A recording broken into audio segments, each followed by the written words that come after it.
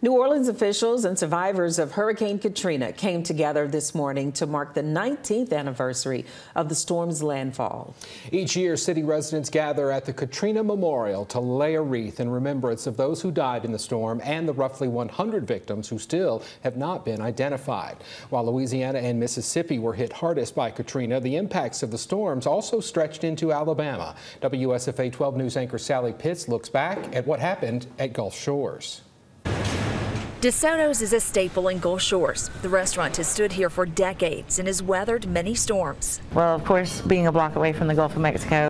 Owner Rosemary Still remembers walking into a restaurant to see the aftermath of Hurricane Katrina. We had a lot of water damage inside and a lot of wind damage and roof damage as well. This line on the wall marks just how high the water came up inside DeSoto's during Hurricane Katrina. They had to cut the wall out from here down, uh, a wall they had just replaced the year before after Hurricane Ivan. We had, we had just a few months before had gotten our, our new sign repaired and put on top of the building and it put holes all in it all in the top, in the new roof that we had just gotten as well.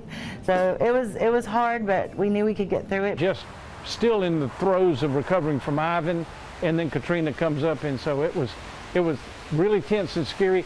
Gulf Shores Mayor Robert Craft evacuated ahead of the storm. My father was sick, and I knew that if we lost power with his lung issues, we'd have a problem, so we loaded up and, and went to Montgomery. Mayor Craft says the anniversary of Katrina is a reminder that hurricane season is not over yet. First thing every morning on my list to do is look at the tropics. Sally was our last one, and thank goodness we can keep our fingers crossed that hopefully we, we can say that for a while longer. As we enter peak storm season, they are hoping all stays calm along the coast. Sally Pitts, WSFA 12 News, Gulf Shores. Now, two people died as a result of Hurricane Katrina here in Alabama, but of course the death toll around the southeast in New Orleans and in Mississippi is much larger. And Val, we all remember those reports from the Ninth Ward and the convention center there in New Orleans. It was just really Such a, a loss of life. Yeah, a big issue down there.